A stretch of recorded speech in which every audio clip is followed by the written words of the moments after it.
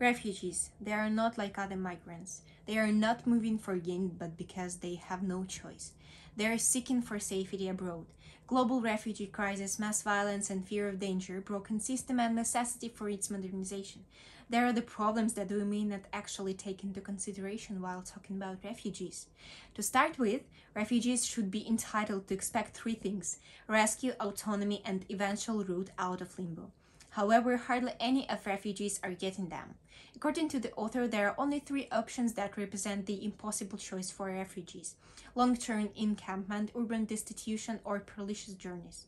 The 21st century can do better than this. Well, one of the main ideas of this book is that refugee must be understood as not only a humanitarian issue, but also one of the development.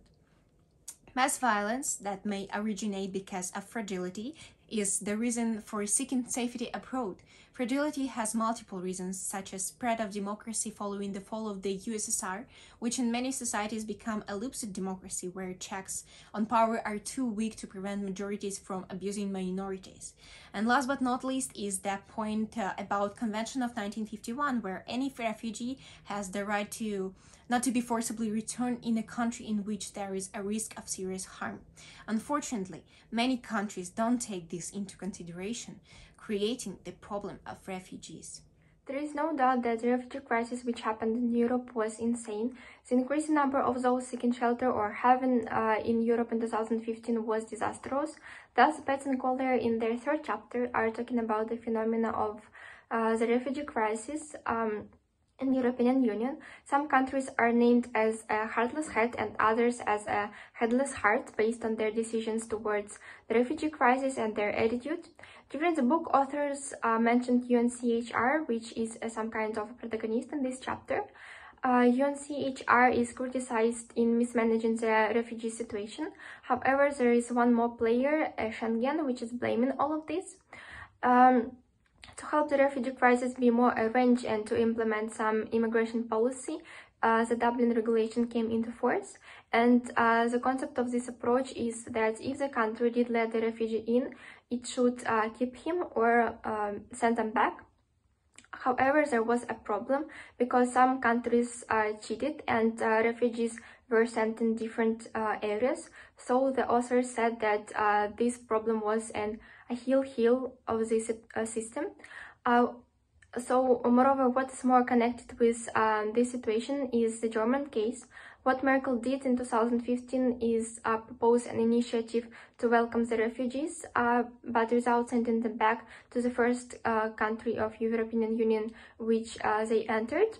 Uh, it was quite beneficial for the refugees, uh, but unfortunately the Dub Dublin Agreement was no longer valid. Uh, in the first uh, next chapter, uh, authors are wondering about two principles, the hard one and the hard one.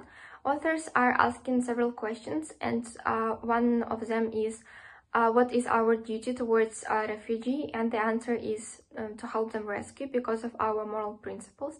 And this is an example of the hard principle. Uh, still, there are two more hard principles, the solidarity and the need one. However, as a principle of heart is implemented in the comparative advantage and burden sharing, it is about uh, coordinating the response. The idea is uh, that burden sharing is divided between different participants and each does uh, something based on their capabilities. Uh, and this is what the head uh, principle uh, includes. We are going to examine how to rethink heavens and assistance.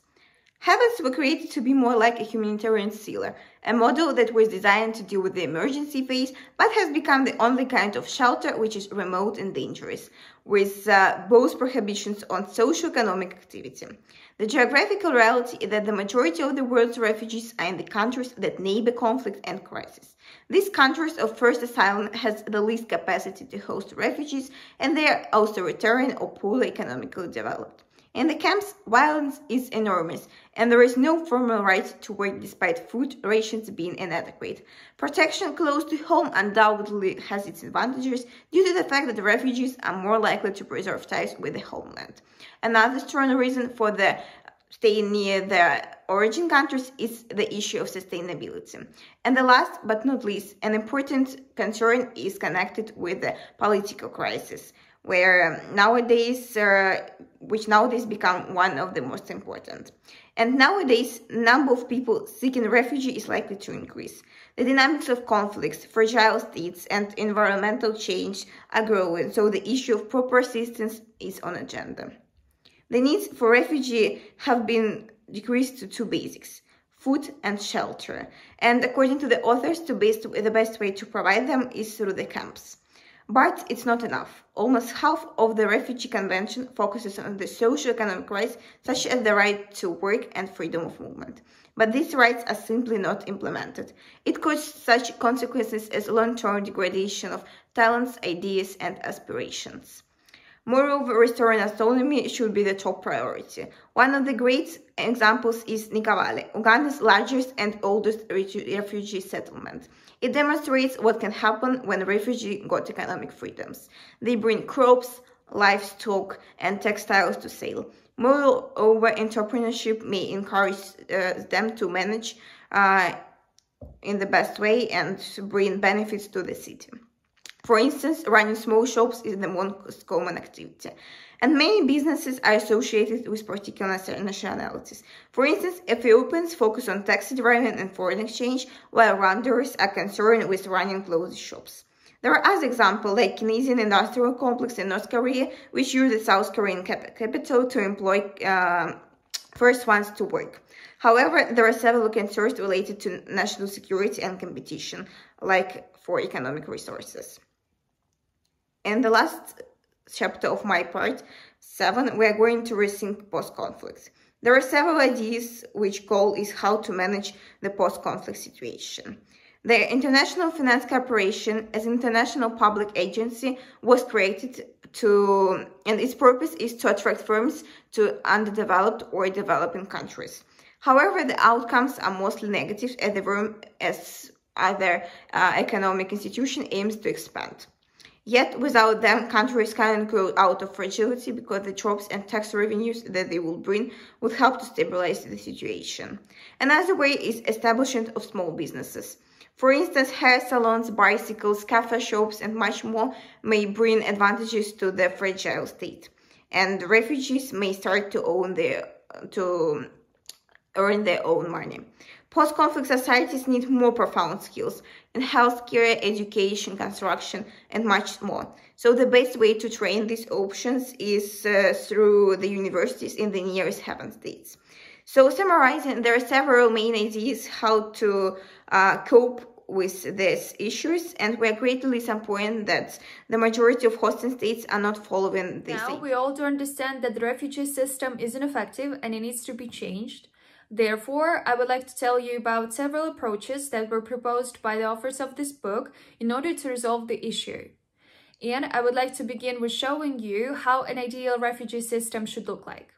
Basically, it should have five interrelated components, sustainability at scale, production for duration of risk, the provision of development areas, the provision of a route out of limbo, and finally, management of onward movement. New system benefits the economic situation of both host and post-conflict countries. The system should mainly focus on autonomy and employment, so haven countries should give refugees an opportunity to work because later on, these skills will help refugees to rebuild their home countries when the conflict is over. Moreover, new forms of partnership should be developed. For instance, business investment and mutual cooperation between countries. Basically, states should cooperate with each other on the principles of burden sharing and comparative advantage and engage with the, the wider international community on refugee issues. These innovations should be taken into account in order to prevent another refugee crisis from emerging. Old system is ineffective and that may lead to the fact that the next crisis can even be um, worse than the one that happened in Syria. The refugee system should be changed as soon as possible, and it should be done in accordance with the approaches that were previously proposed. Thanks for your attention. We are looking forward future changes and we recommend you to read full version of this book.